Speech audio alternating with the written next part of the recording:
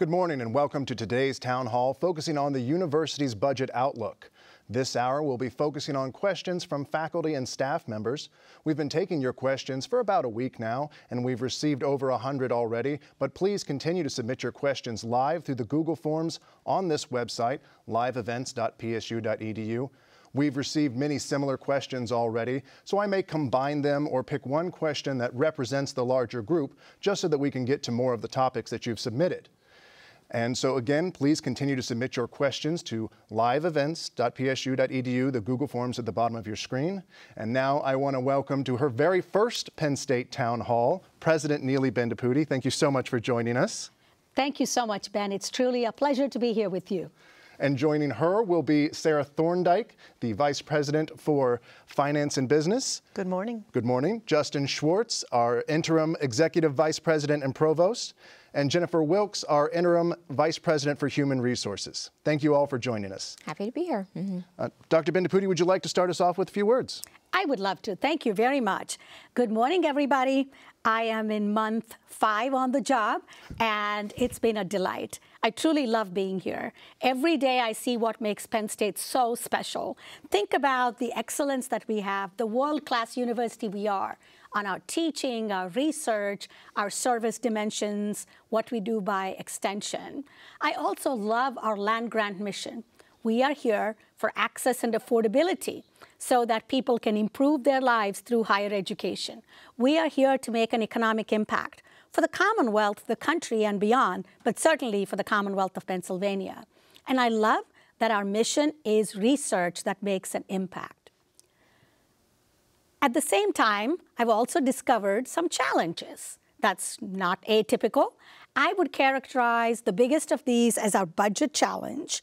And I know we can do this because part of what makes us Penn State is that we say we are. We're not a culture that says I am. There's such wisdom, such beauty in saying it's we are. So today I want to begin by saying I feel very confident we can tackle these challenges and come out on the other end stronger, better than ever. And that's partly because of the three team members joining me here today. I want each of you to know I could not ask for better colleagues and partners. And now I want to tell you all why this town hall. I wanted to do this because I realized that even among the senior most leadership levels, not everyone was fully aware that last year we had a pretty significant deficit. And so I figured uh, many of them thought it was one time, that it was just COVID. The reality, though, is it's a structural deficit, meaning it's not a one time deal. We need to figure out an answer. And again, consistent with the we are spirit, it's important to me that all of us have a common understanding. We're a, a, university that belongs to every single one of us, and so I wanted to have this forum to hear from you and to share some of my observations as well. So, when I look at the deficit and look at the fact that the board has given us a little extra time, they're going to approve our budget in September as opposed to July when they would have done it. Uh, I wanted to make sure you all knew the board is not the bad guy here. Their fiduciary responsibility is to make sure we are on solid footing.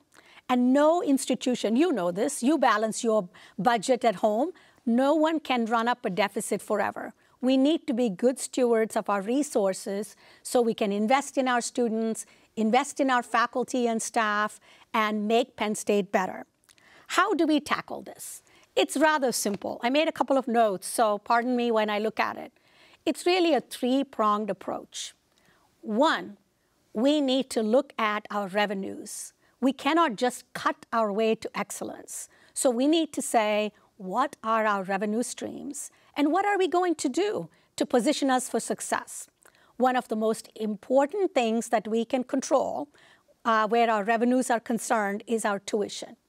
So I don't know how many of you are aware, but over the last five years, uh, enrollment in our Commonwealth campuses declined by about 20%. So think about the impact that would have. Uh, we'll talk about it, I'm sure. I think our Commonwealth campuses are our strength. They are our opportunity, but they need help. One of the biggest things I learned in visiting the campuses is we need focused enrollment strategy. So I'm very pleased that we've hired somebody to head up enrollment management so we can control our destiny better. That actually puts us on par with other Big Ten and other universities across the country. Uh, we've got to do that. A second element is how do we control our costs? We've got to, especially in the short run. As you know, we've got to find a way to control our costs. I want you to know that we are doing that at every single level. For example, uh, you may have seen our GC, Steve Dunham, is stepping down from the GC role October 1. And I've asked Frank Guadagnino, our VP for administration, to step in as interim GC. But all of the functions that Frank used to have now will report to my chief of staff. So we are not replacing that role. All I'm using that as an example of how at every single level we've got to be mindful and say, what can we do to control costs? By the way, I, am sure there'll be questions about strategic hiring, so I'll pause on that. I want you to know it was strategic uh, stop to hiring. We are continuing to hire many, many critical roles. The last part that I want to mention is our budget model. And that is the fact that Penn State, as I look at it, is like a house, a beautiful home, where some rooms are fabulous. They're, fa they're like WPSU studio, they're beautiful. But some rooms are falling apart. And when we say we are, when we say we're one home, you know that we cannot have that. So we really need to look at our budget model. How are we allocating resources? Do we need to rethink? Are we being equitable? Uh, so these are some of the issues we should look at. My final point to you is we will do this collaboratively. Uh, we have shared with Faculty Senate, with uh, USAC, with that's our uh, Staff Advisory Council, uh, working with deans, chancellors, and I will tell you that this team here, uh, both Justin and Sara, have been hosting weekly meetings with our deans, with our chancellors, with our, their financial officers, so that we can all get on the same page. I thank you, and uh, as I said, I could not be more excited. I feel I'm where I need to be, and I know the potential and promise uh, we are the most resilient organization around. So I know we can do this as long as we know it's we are and we are tackling things together. With that, let me turn it over to Sara. Thanks, Neeli. I really appreciate it. So I want to start by sharing that Penn State's balance sheet is very healthy. We have strong donor support. We have excellent funding for major research. And you probably recall hearing that we just raised $2.2 billion in a capital campaign, which is fantastic. The challenge before us is only 1% of those contributions are unrestricted. So although they're wonderful for scholarships and for other donor specified needs, they don't help us actually operate the budget in a, in a way that works for us. And so we are very grateful for the research money. We have over a billion dollars, but again, research dollars are also restricted. So really what we're trying to do is get our operating budget in order. We do continue to operate at sub-inflation rates, both from state funding and tuition. And again, that, that's a challenge for us because those are two of our bigger revenue buckets, both tuition and state funding. But I do want to say this is a challenge, but it is not a crisis. We really have some runway here to, again, get our operating budget in order and work with everybody to do that. I'm confident we're taking the steps forward um, that will get us into a great place. As Neeli mentioned, the board has given us a little bit of extra time. Uh, we will be taking our budget for fiscal year 23 to them next week. Normally would, we would have done that in July. And Thanks to the unit heads, the budget executives, we have made tremendous progress on what our budget deficit looked like back in July compared to what it looks like now. So I'm confident that the board will approve the budget and we will continue to make even more strides and progress forward with the help of everyone. As Neeli mentioned, this is a multi-pronged approach. We need to look at revenues, tuition, um, additional new revenues. You might have heard about our corporate sponsorship program we're working on. We need to look at expenses. That's part of why we did the strategic hiring freeze to give us some runway, to give us some breathing room as we figure out how to manage our expenses. And we're also looking at the budget allocation model. We have a fantastic group of faculty, staff, and administrators from across the university that are helping us redesign our budget allocation model. We have a pretty aggressive schedule, and it's out of necessity because, as Neeli mentioned, we really can't continue to operate in a deficit environment. So we're going to roll that new budget allocation model out before the end of this calendar year, right around Thanksgiving. And again, it's going to take the work of everyone to then take that new allocation and put it into practice for fiscal year 24 and fiscal year 25. We're also going to work with the legislature on trying to get our state appropriations to a, a level that's more um, consistent with what we see across, across Pennsylvania. Um, we are the lowest funded within Pennsylvania. We get about $5,600 per Pennsylvania um, student. And that's, and that's lower than, than Pitt or Temple or PASSHE, and, and we're confident we can work together and see our state appropriations um, increase. Pennsylvania is also ranked 47th out of 50. And so, again, those are some of the challenges we have before us that we will continue to advocate and work on this next year. So I'm confident, again, with the great groups of people that we have working on our budget allocation model, the new revenue ideas that we have, and all the expense reductions, that we're going to end up in a great place. Thank you both for that. And once again, I'd like to remind our audience members that they can continue to submit their questions live throughout this event. But now let's get to those questions. Um, Sara, we'll begin with you. And uh, it was touched on in the opening statements, but uh, it, it bears repeating because it's on a lot of people's minds. What is the university doing to control the budget and reduce the deficit? Yeah, thanks so much. So again, we have a very solid foundation that we're starting to work from, and but we have taken some practical steps. Um, we had a 3% budget rescission built into the fiscal year 23 budget. Um, we've been planning on that for many months. It's going to save us about $46 million. And frankly, a, a lot of that budget deficit gets reinvested back into things like the general salary increase. It's just where we're at right now where we have to redistribute some of our existing money. Again, we've done a, a, temporary strategic hiring freeze. That will give us, again, some runway as we think about how do we use some of those budget savings perhaps in a different way. Um, we will also be working on the new budget allocation model.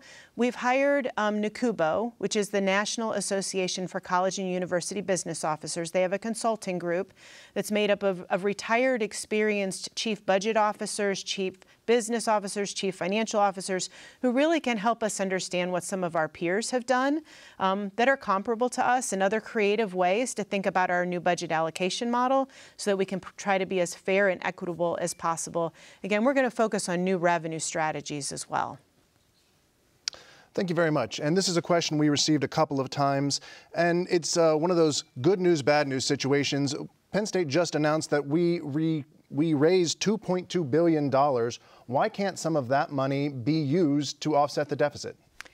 It's a great question. Um, so 50% of what we raised goes into endowments, and we are so grateful for every dollar we received.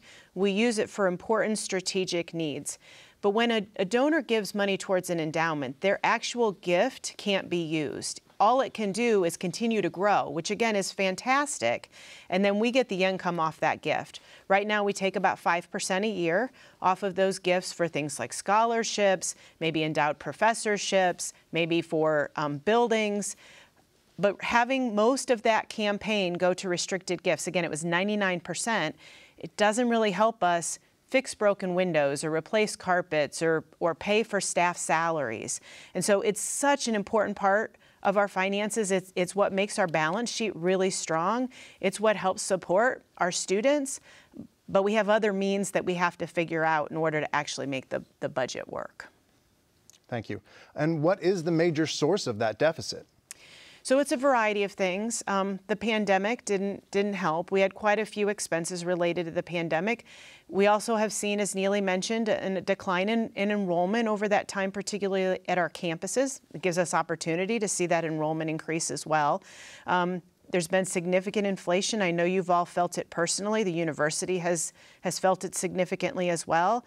Um, our state funding is lower than it was in, in fiscal year 2010, 2011. So, with that stagnant state funding, it's been a challenge. And, and because of all of that, we've really been using our central reserves for reoccurring expenses, which is just not sustainable. Uh, President Bendapudi, you'd like to add something? Yes, Sara, uh, would you speak to that a little bit? Because not everyone uh, might use the same jargon. Sure. So, what happens when we use one-time central funds for recurring expenses. Yeah, thank you, Neeli. Um, so I'll, I'll give you a good example. If you're hiring, say, a, a, a faculty or a staff member, you expect to pay them every year. If you're only paying them out of one-time money, money that will go away over time, you can't continue to pay them in perpetuity. So we really need a perpetual reoccurring revenue source, and that's what really should be in our budget for things like salaries or multi-year contracts for like IT, um, our utilities, those those types of expenses. You would never want to pay them with just one-time money that goes away. Thank you. Yeah. And Sara, as a follow-up, if I could just ask, do you have any idea when the budget will be balanced? Uh, we're getting some questions live about the timing issues. Yeah, no, it's a great question. So we've been grateful to say that we have reserves, um, and we've we are managing this early enough that we've got runway for a couple years of reserves, assuming we continue over that time to reduce the deficit.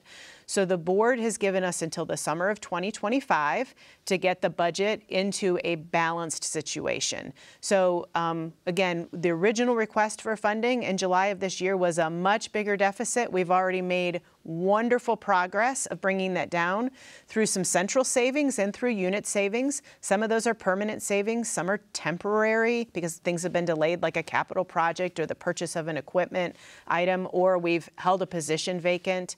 Um, so we have significantly already reduced the deficit we saw just a few months ago. There's a lot of work still to be done to get that deficit down over the next two years to a balanced budget by 2025. Okay, thank you for that update. And uh, just one more question for you, and then I promise we will give you a little bit of a break. uh, but how has the university been engaging faculty, staff, and the various stakeholders we have here at the university yeah. in this process? Yeah, it is so critically important. I, I can't solve this on my own.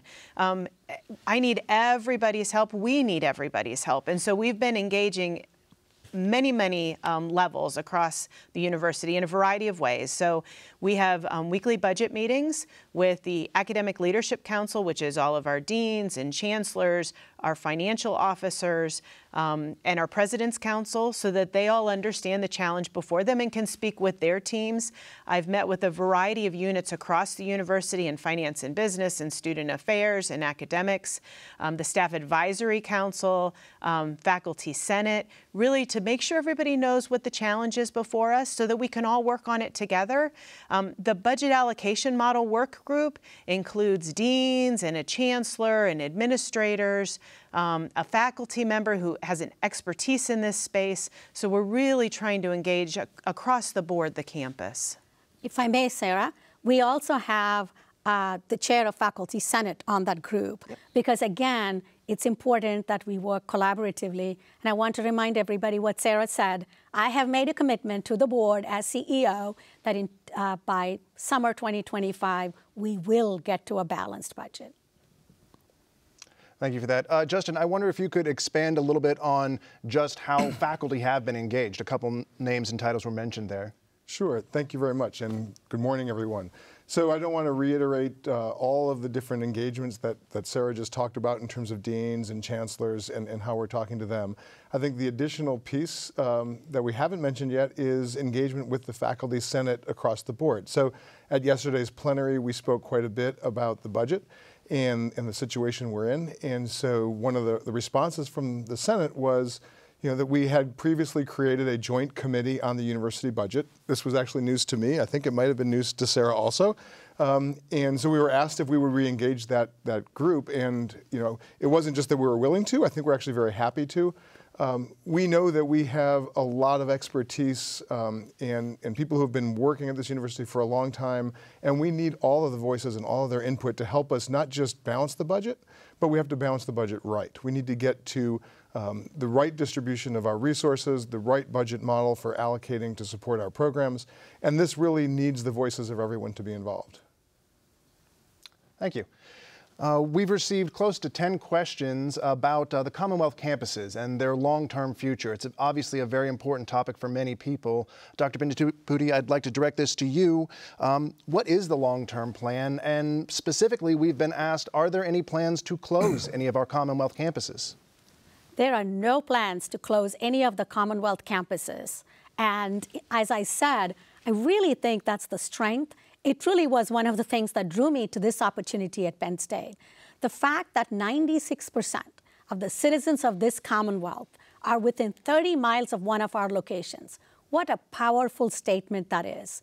But, and having been at the campuses, and actually several of them multiple times, I will tell you that when you're there on the ground, you realize these campuses are the social, economic, cultural, centers of those communities. So what we do need to do is make sure they continue to stay vibrant and that we are we give the chancellors, uh, Dr. Kelly Austin, our vice president for Commonwealth campuses, brings this up at every single meeting. And that's what his job is, to make sure that we realize the strength of the Commonwealth campuses and invest in them to grow. Thank you. Uh, Justin, I'd like to ask you, uh, what about any specific programs, units, or departments? Are there any plans to make cuts there, here at University Park, and across the Commonwealth campuses? Thank you. I know this is a topic that's on everybody's mind. Um, and so let me just say clearly up front, as Neeli just did about the campuses, we have no immediate plans to cut or eliminate any of the programs. We will do take a period of time where we plan and assess and ask ourselves the question of are all these programs the right programs? Um, I think another important point that we haven't really touched on that we have to really stress is that while we're talking a lot about the budget and the need to balance the budget and develop a new allocation model, those are all front and center on our minds in the conversation. But every one of those conversations really does center around how do we build a budget that supports our students and supports our faculty to meet our mission, our vision, and our values. So we know that our mission is to ensure that all of our students have the academic opportunities so they can really build the lives and careers that they're aspiring to. That's really the driving force of how we look at what programs do we have and what programs should we, should we add or, or, or eliminate. We do have duplications, there's no doubt. I get asked all the time, why do we have duplications? Why do we have the same program at multiple campuses? There's nothing wrong with us having duplication. We are a very large university. We are distributed across the entire state. Um, and so for us to meet the needs of our students, we have to have some duplications. So the question that we'll be asking deans and chancellors and department heads and faculty to really think about is, do we have any unnecessary duplications? Do we have programs which, um, when they were created and, and thrived, were really critical to our students, to our economy, to our state, to our nation, but maybe they're not the key programs that we need anymore because the world has changed. These will not be top-down decisions. Am, none of us in, in, this room want to look across our programs and say, we don't need that one, we don't need this one. What we do need to do, and any strong organization will do this, is look at the programs that we have at that unit level, at the dean, chancellor, department head level, and ask the question, is that program still worth having? Does it still support our mission? Uh, or would the resources be better used creating a different program or building a different program? Thank you very much. Uh, Jennifer, I'd like to direct a question to you, and it's uh, something to, to, maybe there's some fear amongst our community. Are there any plans for any mass layoffs or furloughs as an attempt to balance this budget? Yeah, thank you for that question, Ben, and good morning, everybody. We have no plans for mass layoffs. There may be some personnel changes in units, largely based to attrition or not backfilling vacant positions. And while some reductions in some units are possible, we are not planning for any mass layoffs. we all value our employees so much. I care about our employees deeply. Um, and we realize we cannot meet the mission of our university without our employees. So we certainly want to minimize the impact that something like this would have on our university um, uh, workforce. Budget executives in each of their units will be tasked with making decisions that are in the best interest of their unit to support our students and for the betterment of the university. Mm -hmm. Thank you. Uh, we've received this question maybe a dozen times. Uh, will there be a voluntary early retirement, as been done in the past, to perhaps entice some with higher salaries to leave and help balance the budget that way? Um, I would, Sara, is that a question for you? Yeah, I'm happy to answer that question. We looked at it, and the reality is, given where the labor market is and pressures, we just don't think we're going to save any money with that option. So we do not have any plans to do a university-wide um, plan in that regard. Okay, thank you very much. Uh, and we've had another reoccurring theme amongst the questions submitted to us, and that is that staff morale is, as some people described it, an all-time low from their time here at Penn State. Dr. Bendapudi, what can you do and what are you doing to address that morale issue? This is such an important question. Some of you may know that I've written about this and have studied this. It's something near and dear to my heart. And the answer to staff morale, part of that will lie with us as senior leaders, for sure. But the reality is, if you look at the literature, if you see what's happening, it's also how we treat one another. What are we going to do? So staff at every place I know feel the most vulnerable many times because students, we realize we are here to serve them. Faculty, I joke, we have the sage on stage aura, you know, we get up and we're the ones giving the lectures. Staff are truly uh, so critical to any university. I call them the connective tissue. They hold the institution together. So some of the things I would ask is that we be mindful and respectful of one another give each other a little bit of grace. We're coming out of a period of great stress. The pandemic put a lot of stress on us because as human beings, under stress, we are wired to come together.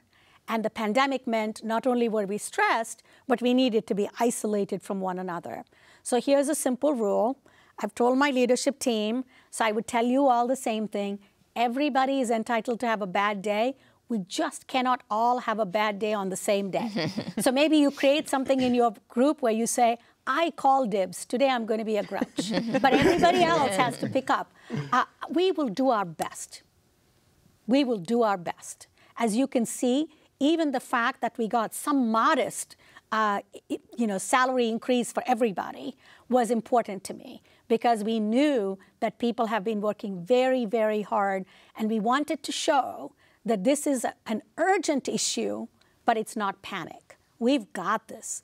I am a retired banker, if you will, a business person. I feel confident we'll get there. But I want to say it's not just the uh, money, it's how we treat one another. And we truly need to make sure we treat each other with the respect we deserve. Thank you. Uh, following up on the morale issue, many people noted specifically, uh, we've had more than 20 questions on the topic of the hiring freeze and how that's affecting their workloads. People say that they feel overworked and understaffed already, and this hiring freeze is compounding that issue. So, how can we both hire qualified new employees and manage the workload of our, our existing employees?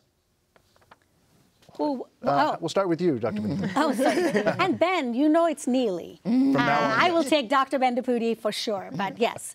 Um, this is a very important issue, and I may ask anyone else who wants to jump in on this too. We call it a strategic hiring freeze, and Justin and Sara will tell you we have approved, a, they have approved a lot of hires. So the critical nature of this, and I realize everybody's working hard, Everybody's doing extra, and I thank you for it. But the decisions about which are the critical roles that must be filled are appropriately being decided at the unit level. So I'd encourage you to talk to your dean, your chancellor, a member of a vice president, vice provost. That's where those decisions are being made. Thank you. Uh, Jennifer, we have a question for you. We've received about a dozen questions along the lines of the Compensation Modernization Initiative. And what can you tell us about that? Do you have any timing updates on that? Sure. So the goal of this program was to modernize our job classification and compensation program. The job classification side of the project is focused on creating new job profiles, new job descriptions, um, a new structure for job leveling, and to provide more insight into career paths for staff employees. The compensation side of the program has been focused on creating a new uh, compensation philosophy and a new compensation structure based on market data.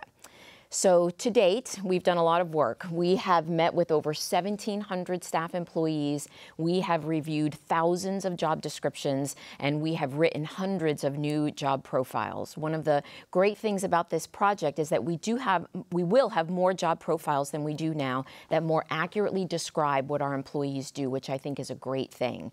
So once we finished all of that work, we mapped all of our staff employees into this new job structure. We sent that information out to the leadership teams throughout the university to review the data and to validate that. We're in the process now of getting the feedback from that review, and so we're taking that information and finalizing the job classification part of the program. The next part will be for us to build out the compensation components of the, the plan. We expect that we will have more information for employees, including training on how this new program will work in the early part of 2023. Mm -hmm. Thank you very much. Uh, Sara, I'm going to follow up with you on that. Uh, can you give us any, from your perspective, how, when we could see some tangible results and how that might affect our budget?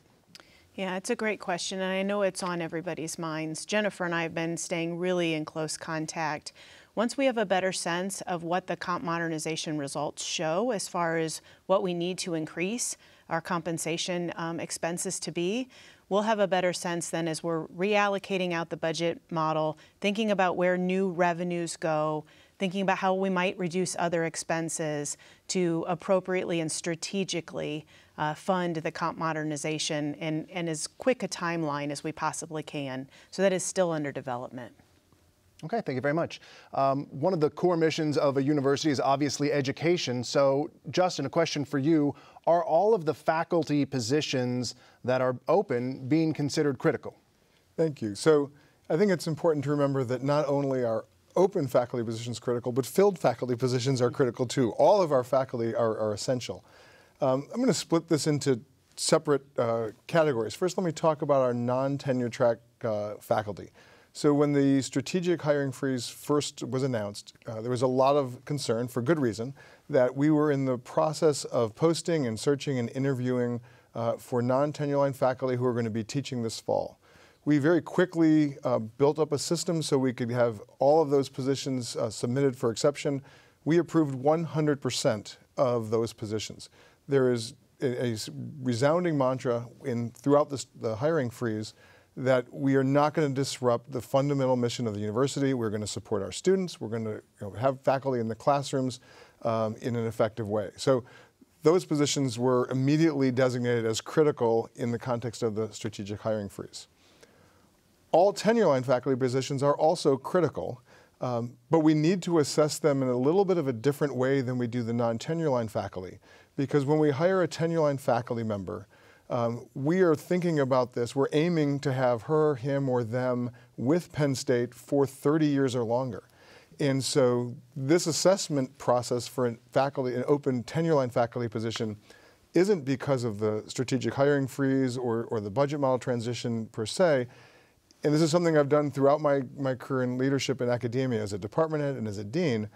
When we have an open tenure track position, tenure line position, we'd assess what we want to do in terms of what our needs are for the next 30 years, not simply what type of, of disciplinary expertise did the person who leave have, right? So we're not trying to backfill um, based on the past, we're trying to fill a position looking forward, and that's really critical. Uh, the other thing, if I could take another moment on this topic, because I think it's really important that, that the audience understands the process here. Um, I know there was concern uh, when the um, model transitioned from budget authority, 70% of the budget authority under the provost, to being um, all unified under uh, one CFO. Um, there were a lot of questions. Will Sara's office be making academic decisions? So I can tell you um, with 100% clarity that there was not uh, a finance and business office driven decision making process for choosing which tenure line faculty searches to launch. All of those, the process that we went through was that the deans and chancellors assessed what their needs were. The chancellors worked through Kelly Austin. That, that process actually began before I took on this role. Um, all the University Park deans put together their list of prioritizations for what faculty positions they wanted to fill, what areas of, of expertise in the larger colleges, which departments, um, but in general, what area of need that they had. Um, they submitted those to me with the rank order. I reviewed them uh, in a couple cases, reached out to the deans and had more conversations. Uh, for positions that were going to be co-hires with an institute, for example, um, I asked the dean to reconfirm with the institute director that they were still on board because I knew the institute budgets were also going through through conversations. Um, and then those decisions were made by me, and the deans were, were approved to do their launches. So we are viewing all of our faculty positions as critical, and I think we should always have a process where we think about where do we make a 30-year investment uh, when we have the opportunity to do so. Excellent. Thank you. Uh, Jennifer, we'll go to the next question to you. We've received about a dozen questions uh, circling around staff workload and their compensation. Uh, this one appears to be representative of the bunch. A staff assistant says and feels like they are taking on more responsibilities due to other positions not being filled or maybe can't be filled because they feel that the offering salary is too low and they want to know why they aren't being compensated for that extra work. Yeah, thank you for that question we realize that there are a lot of people that are doing more with less right now.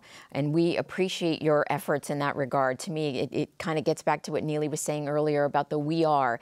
Um, we know that we're asking a lot of people to chip in, in in areas that maybe they haven't before.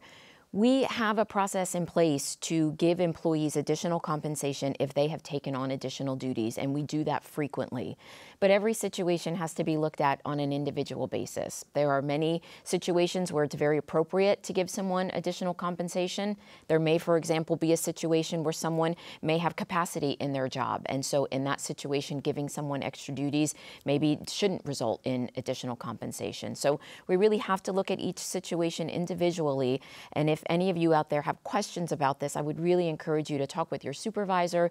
Please reach out to your HR strategic partner to talk through these individual situations, and we'd be happy to, to walk you through it. Mm. Thank you. Uh, Neeli, this next question is for you. Uh, a person noted coming in that uh, retention is also at an all-time low. So mm. what is the university doing to attract and retain our top talent? Uh, I did not realize that it was also at the low, as you said. We need to verify these numbers. I don't know. But that's a very, very excellent point. Whoever asked that. I've often talked about organizations are like leaky buckets. So whether it's your PTO group, your church group, whether it's a, a business, and our university is no different. And here's what I mean. We're all so excited about bringing in new people. So let's say you have a a bucket at home and you're filling it up with your favorite beverage, that's terrific. But if there are holes in the bucket where you're routinely losing people, then no matter what you do, uh, it doesn't make sense. You're not going to ever be uh, optimizing. So if it were a real issue in your home, I hope the first thing you would do is plug up those holes. So this is actually interesting. A conversation I had with some faculty and staff just a couple of days ago. Do we always invest in just bringing someone new, or should we also be paying attention to the people that we already have here? I worry sometimes that we take for granted the people we already have, and we are excited about the new and shiny. So you will see that I will always say, what are we doing to retain the people that we have recruited and uh, make sure that we invest there as well? Always, it's a balance. Thank you. Uh, Neeli, we will stay with you for this next question, and it's one we have received several times. People are asking about increases to senior administration salary and the hiring and creating of new senior level positions, uh, and particularly close, so close to the announcement of a hiring freeze. Um, can you tell us a little bit about the reasoning behind those moves? Thank you very much. I really appreciate it. Uh, and I've tried to address this with uh, people as this comes up. The, the hire of the enrollment management role, I always knew it was critical. I noticed we didn't have a dedicated function here, but that really was solidified for me when I traveled to the Commonwealth campuses. If there was one theme that every single chancellor, Kelly Austin, faculty, staff at these campuses brought up, it was we need to do something that is a cohesive, Penn State wide look at enrollment. As I've said before, that's the only part of our revenue stream that we have some control over. The state will go after, we'll do our best to increase our appropriations. Donors, we'll cer- certainly try to uh, work with them, research, but all of those come with strings attached in terms of where we spend it. So I am very happy we hired that role. It's critical. And I hope you heard me that we are also trying to say where are places we do not need to hire another person. So, with somebody stepping into the interim GC role, we have eliminated the VP for administration role. I will tell you the simple thing for me on all of these decisions is the return on investment. Is the hire we are making going to make a difference overall for everybody in this university? And that's the only metric I use. I also did increase salaries for some of the women on the team. And I will tell you that when I came in and looked at it as a new person uh, at the senior level salaries, I discovered an equity issue that um, the women were systematically below, significantly below the median, and most of the men were above the median. It is not a gender argument. You know, I want you to know people might say, oh, what if the woman only has one year experience, the man has 20? Or it's not about that. It is people holding the role. So, controlling for everything else. I am a market researcher after all. I felt that we needed to address this inequity. I will also tell you, as the boss, for me, the issue is what will happen if we lose this person? What's the value? What is the return? And how critical is this role? So, I'm very proud of the decisions I've made, and I know you will see the payoff as well. And you also have my word that we will work as hard as anyone else in the university. I've always said that we lead by example. So, if there are other questions, i am happy to address.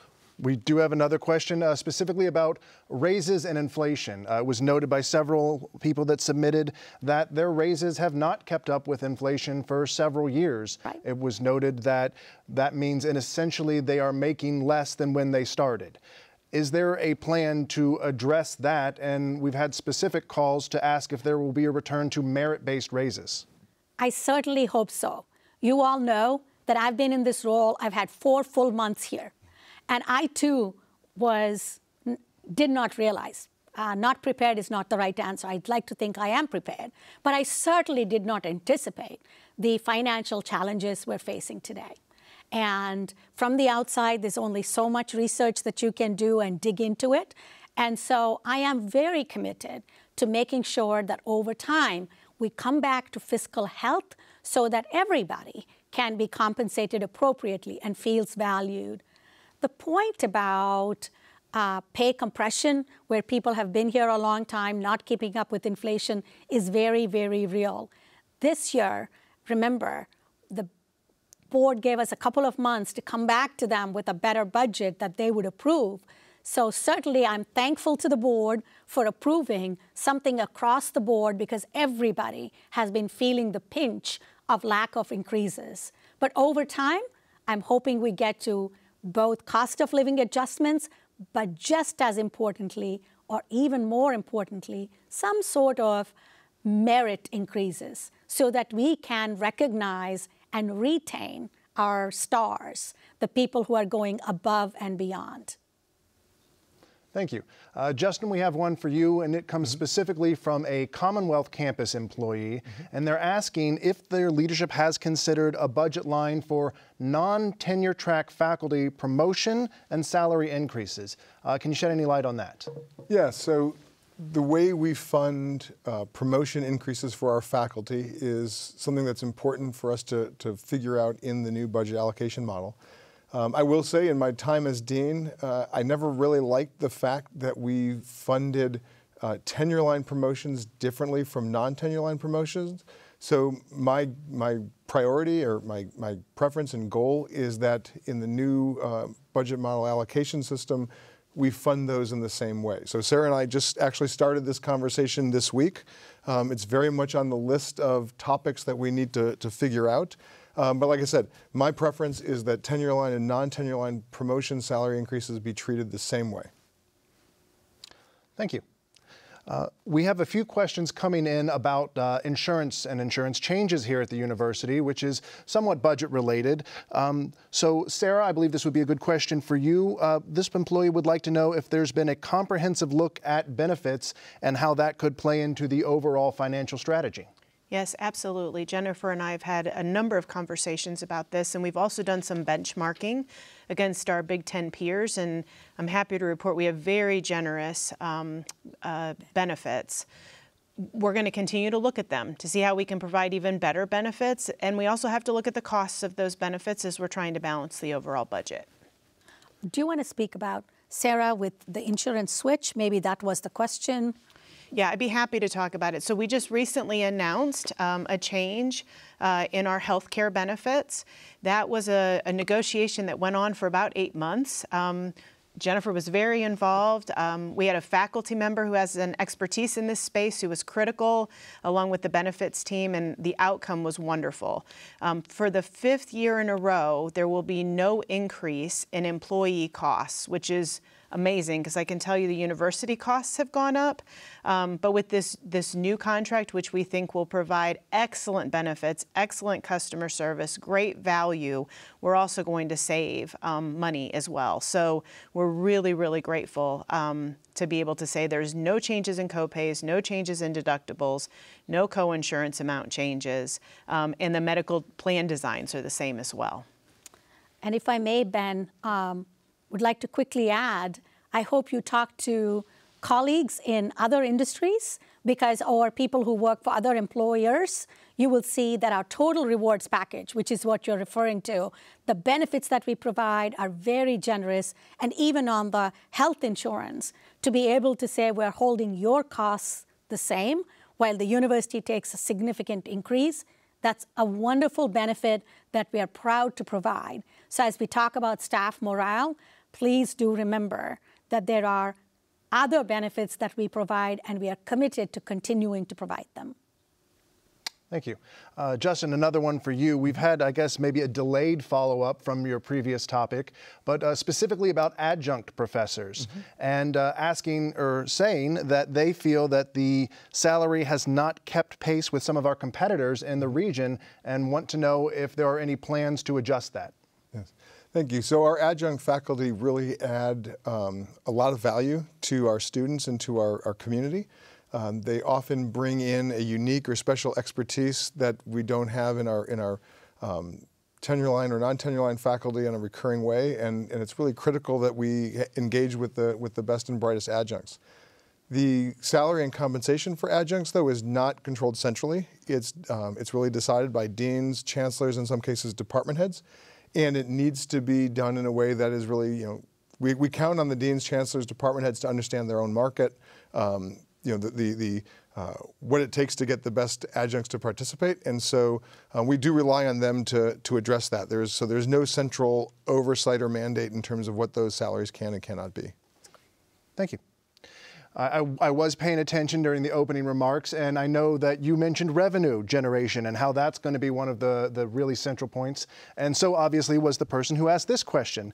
And so they're asking, is it possible, Sara, this might be a good one for you, is Penn State planning on privatizing any of its utility systems as a way to generate revenue? Yeah, thanks for that question. So we're always looking at ways to um, streamline, to be more efficient, to create those revenue driving opportunities. Um, much of our infrastructure was created out of necessity many, many years ago. Some of our peers have, have chosen to do um, take different options for some of their infrastructure. Um, we have a responsibility to just look and explore. Some of those peers chose to make changes, and some found the way they were doing it made the most sense. Uh, we're very sensitive to cost of attendance for our students, so we will continue to look at those opportunities. We don't have anything right now um, planned. Okay, thank you very much. And on the other end of things, in sort of saving money, uh, what are ways that uh, employees, faculty, staff, whomever can report waste? And mm where would the appropriate place to be that? And if you could also expand on that, perhaps if they didn't feel comfortable going to their direct supervisor. Sure, absolutely. As I, as I should er, said earlier, this is going to take all of us working together to get to a balanced budget. Um, I've met with a variety of units and, and employees across the university, and I'd be more than happy for you just even to send me an email with your ideas. I'm sure all of us here on the panel would be happy to hear from you. Um, it, it's going to take those creative ideas of things we've not done before or things that you observe in your day-to-day work. Those are the kinds of changes we're going to need to make across the university to really make a difference. So please share them with us. We would love to hear them. Thank you. Uh, Neeli, did you want to add something? I did, uh, which is the fact that during the strategic hiring freeze, I actually got emails from staff. And they said, uh, you know, people saying, you are trying to control costs. I'm concerned in our unit that we're hiring such and such positions.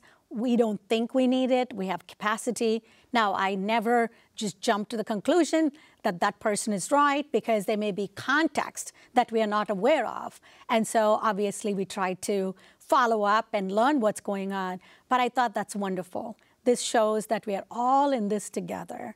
We all have a big challenge uh, with all of the questions about raises and what we will do, I don't want us to lose sight of the fact that we still have 150 million, 40, 50 million dollar structural deficit we need to address in two years. So we are not going to be able to do that if we don't identify areas where we are maybe doing things we don't need to. Uh, we've been talking internally about how all teams at every level need to be discussing what should we start doing? What should we stop doing? What should we maybe delay doing? Uh, and you know, these are very, very uh, important conversations to have. Thank you. That was a good add-on. Uh, like another question for Sara, and this person would like to know, did Penn State initiate the commercial partnership program as a means to sort of combat this budget issue? And similarly, another program that is being discussed is the potential sale of alcohol at Beaver Stadium. Are these things that could help the budget? So we're definitely hoping that the commercial partnership program will help. Um, and and it will be part of the solution for the budget, but it actually has been in process now for several years. Before I even arrived, um, Huron did a study for us figuring out how we could look at optimizing resources, um, and commercial partnerships was one of those um, opportunities. So we're grateful to, to be pursuing it.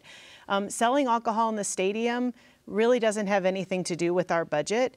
Um, just uh, as, a, as a point of clarification, athletics is self-sustaining. So for example, the funds that they would receive selling alcohol will be reinvested right back into their buildings and infrastructure and programs within athletics because the university does not contribute funding to athletics. Thank you. Uh, Sara, we'll stick with you for just a little bit longer. And uh, this person is asking about Simba. And did Simba have any effect on our budget negatively? Uh, they feel that there have been some issues with the rollout and still some issues today. And why haven't those concerns been worked out a year later? Yeah, no, I, I hear about Simba a lot. Um, implementing during a pandemic is less than ideal. Um, and there were a lot of employees who worked really hard to implement Simba, despite the fact that we weren't able to do in-person training, for example. There are still a lot of improvements that need to be made to Simba, and there is a team of people within budget and finance and IT and across the university working to make those improvements. That's pretty typical for an ERP implementation as well. So we'll continue to make those improvements. We just have to slowly get through a very long list, um, and, and we'll get there. Thank you. Uh, Neeli, did you want to add something? I did. Uh, one of the things is uh, for every institution, even when we feel incredible pride in the things we do well, we also need to take an honest look at ourselves and say, where are areas where perhaps we are not where our peers are, or where we would want to be for ourselves. And I can tell you that uh, on a systems level and budgeting level, we are well behind our peers. So many of the problems that we face are because we didn't have one look at the budget. There's not an organization that I'm aware of of our scale where an $8.4 billion system where we don't have the CFO be able to look at the entire budget. Other things we need to do are multi-year budgets, all funds budgets. So Simba, again, precedes me, but these are very important tools. So it might be painful because we are doing something new, but honestly, for us to be doing things by Excel is unacceptable. Or homegrown systems, we cannot do that. It's too expensive because when we get these systems, someone else is investing in them to keep them up to date. So I know it's painful, but I want to say, A, thank you to the team that's been working very hard on it, and we need your help in making what we have better because we truly are behind, significantly behind in these systems. Thank you. Uh, Jennifer, we have another question for you, and this person is asking why uh, people who are being hired new to the university are making more money than people with several years of experience. And if you can explain that and answer if that's going to be looked at in the future. Yeah, yeah, thank you for that question. So sometimes that, that, that does happen. Um, and when it does, we advise units that they should put a plan in place to address the internal uh, inequity that that hire may have created. But these are things that will come about as we um, finalize the compensation process, uh, uh, part of the compensation modernization project. So those are things that we'll be looking at in more detail soon. Mm -hmm. And if I can stick with you for just a moment longer, we had another couple of people ask when job reviews, the JRWs, is that going to be a factor again? Yeah, that's a really great question, and I'm, I'm, I'm glad that someone asked it. So when um, when we realized that the compensation modernization project was a bit delayed, we knew that we could no longer hold on on job reviews. And I and I want to thank all of you for your patience with us as we have worked through this project. I know that there are many of you that that have waited a long time for job reviews given where we are in the project, it, it, it didn't make a lot of sense to say, okay, you're in this job profile now and we're going to move you to this job profile because in the new system, we're going to have all new job profiles. So what we did, though, was allowed for units to make adjustments um, to salary if an adjustment was warranted and if the unit could, could support it. So that is an option that is, is available, um, but we will likely get back to a normal process of, of reviewing jobs in 2023 once we get through the entire project. Mm. Thank you very much. Uh, Neeli, I have a question for you, and we've received a few inquiries coming in. Uh, concerns about our drop in the U.S. News ranking. Uh, they noted that if one does have a higher ranking, then you attract more students, more high tier faculty, and then that is sort of a cyclical nature that helps you raise the university's profile. So, what is the university doing to address this? It's a very good question. Uh, it's a tough question to answer because many of us know the flaws in the system, right? Because with US News and World Report, this year, they changed a methodology on how they report our overall graduation rates, for example. And that we think is a key factor in why our ranking dropped. Not the only factor, not the only reason, but one of the factors. But the reality is for people uh, outside. So if it's students, if it's parents, if it's donors, alumni, they may look at this and they may view us as sore losers. You know, you're complaining about the rules because you didn't do so well. So part of what we need to do is have a very clear sense of mission. What is it we want to do? What are the metrics that matter to us? And at the same time, we will pursue uh, with US News and World Report, I want to have a conversation with them on why we think the current metrics maybe don't make sense. We may not succeed, in which case we may also look at what are the other rankings that are out there. Are there things that matter to us? Maybe it's social mobility, it's our research, it's our international rankings. So let's continue this. I'm not trying to evade the question, it's just a tough question. I will tell you, is it tomorrow, Justin, that we have our briefing or Friday? Friday. Friday. On Friday, I've asked for a briefing for our this team and a few others to really understand the nuances of the rankings. And I think that we've just got to be honest and say it does matter to large sections of the population, and we are going to do everything we can to demonstrate how tremendous Penn State is. You know this, and in the short time I've been here, I know this. So we'll need your help too. On some of these, we'll need all of us to speak with one voice. Thank you for addressing that. Uh, Sara, I think this next one would be good for you. We had someone ask specifically about the budget allocation model you mentioned that's going to start in November. Can you explain what that means to the just average general staff member? Yeah, it's a great question. So, right now, each unit gets a budget allocation. And to be completely honest, we're not exactly sure how that allocation was even derived. It's, it's legacy. It's called an incremental budget, which basically means you get the same amount you got the year before, and sometimes there's a little bit of changes. And it really has not kept up with enrollment changes, for example, or other priorities the university has that we want to financially provide resources for. So we're really starting over. Um, there is a EAB um, uh, article that we're using. It's not a rule book. I want to be really clear that it's not telling us what to do, but it's guiding us and telling us here are the decision points you need to think through. So our group of about a dozen is working every week through each of these 13 decision points and then adding some of our own that are important to the nuances of Penn State as we think about how do we want to fund maybe student credit hours? How do we want to provide incentives for values that are important to us, like DEIB or interdisciplinary um, research. research? All of those individual pieces. And so all those ingredients, I'll say, will go into this budget allocation model, will help us figure out how the pie that we have gets sliced across both the academic colleges, the campuses, and the non academic units. And then we will work with the budget executives and the financial officers to say, here's what we think is the right model, get their feedback, make appropriate tweaks, and then give those allocations out to the units so that they can then decide the best way to use those resources along with the other resources they have to balance their budgets. Uh, Justin, I think you have something you'd like to add? Sure. I just let, excuse me. I'd like to just add a bit to what Sara just said about the process for building the budget allocation model because I had the same question when we started, and she had to explain it to me. Um, so we have NACUBO as advisors, and we have this article that Sara's referred to. Their primary roles are not to make decisions or influence decisions that we make.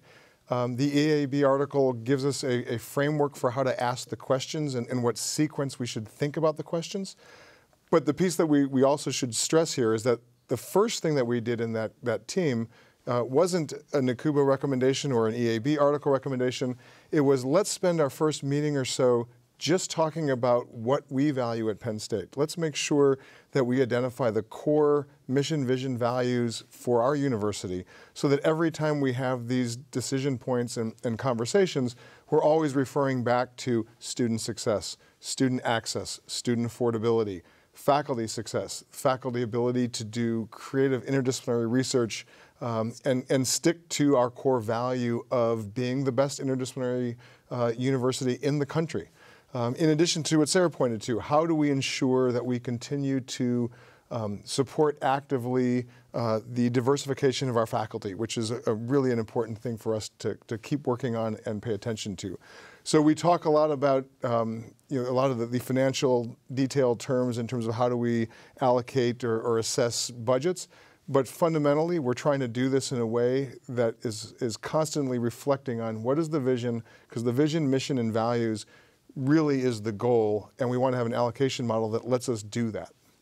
And we have a, a, group across the university helping us think about mm-hmm. what that looks like in their worlds too, right? right? So we have the Staff Advisory Council, mm-hmm. we have the Faculty Senate, we've got people from the campuses and people from mm-hmm. all the colleges and um, administrative units because they all have a different perspective on it that's really right. helpful for right. us. And, and it's important to remember as we do this that we are the most complicated university in the United States, hands down. Mm-hmm. We are the only one that has one budget process, 24 campuses, and University Park, um, professional schools, right? So we are, we are the most complex institution. Um, we really believe in access and affordability and the land grant mission, but we also are a Research One university with a billion dollars a year in research expenditures. We have an international presence, right? Penn State Global is, is important to us. So it's a complicated system that we have to build, and we're trying to do it in a, in a truly mindful way that involves everyone's input.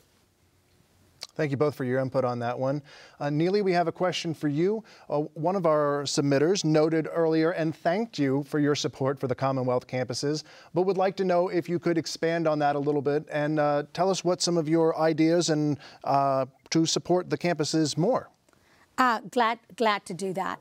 Um, Justin actually did a great job of laying out what is so special about Penn State. I mean, some of you may know, I, I, don't know why you would, but when Penn State first reached out to me, I said no. Uh, you know, because I said I still have lots of things to do. I was very happy at my institution. And then I'm so glad that they were pleasantly persistent and said, look at it again. Because the more I looked at Penn State, I could not agree more. There is no other university like Penn State in this country. And that's what intrigued me the complexity of it, the fact that we can impact an entire state when you look at it. So the Commonwealth campuses, we need to think through how do we support. And it's only by chance. I won't show you which one, but you can verify that it's a Commonwealth campus notebook because I don't want people to say, why did you pick that one? so it truly was a factor. During the search process, I told the board that I was very intrigued by the access and affordability mission my own life was changed through higher education. And I loved the idea that we have these campuses where we are not going to offer every single major. That makes no sense. We can't have the resources to do that.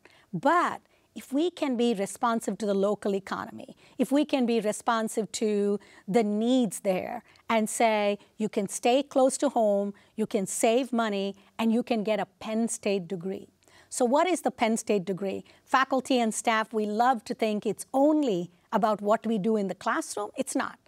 Beyond that, what we provide in the classroom, the support in and out that faculty and staff contribute to is great, but it's also the students that we attract, who they work with, the alumni. So the way that I've been talking about the Commonwealth campuses is what else can we do there?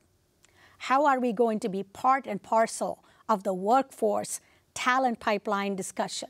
Can we use our campuses to advance rural health? Because we're right there. So I cannot say there's one specific answer because my tagline, if you will, is that not all great ideas come from old Main.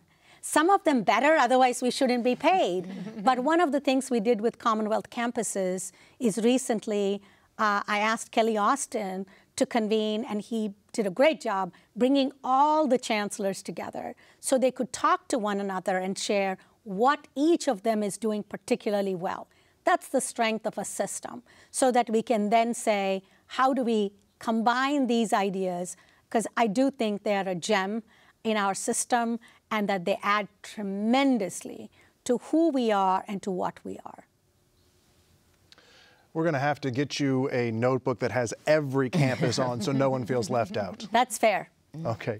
Speaking of our entire broad state, what is the university doing to address the demographic shift? And how can we attract people when Pennsylvania as a state is losing people?